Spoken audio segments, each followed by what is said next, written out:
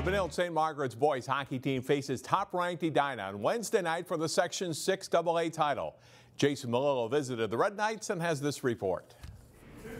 Benilde St. Margaret's is one win away from the state tournament, and standing in the way is number one ranked Edina.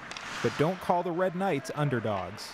I mean, if you ask our team, we don't think we're the underdogs, but to everyone else, we are. Uh, I think we have a great chance. Uh, they obviously have a lot of good players over there, but I think our depth uh, will benefit us in the end. They have a lot of really good players, and but I think that our depth can challenge their their lower lines.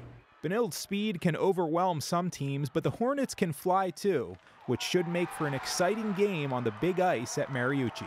We're a program that's predicated on speed, you know, and uh, you know, and, and, and, puck movement and attack, um, you know, but you know, again, Edina's got plenty of speed too, so I, I'm not so sure it's as advantage as some people think it is. But you know what? It, but in all honesty, um, you know, we're not a, we're not a very big team.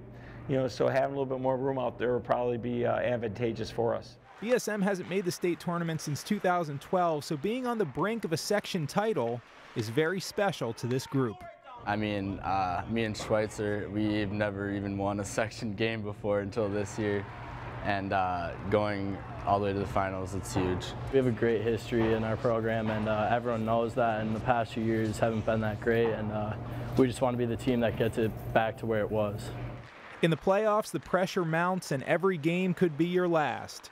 Benilde coach Ken Pauly is in his 29th season and knows what it takes to go all the way. But he also knows there's a paradox this time of year. It's one of those things that, you know, at the end of the day, it's like, yeah, you can keep the same focus, you got to focus on your game, but you also have to find another gear. You know, so you kind of talk on both sides of your mouth a little bit, saying, "Hey, just stay within the moment, stay in the game." And that's true. While you're playing, that's what you have to do.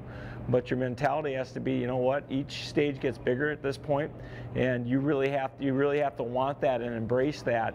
Because if you don't, then I think the nerves can overtake you, and you and you, and you lose it.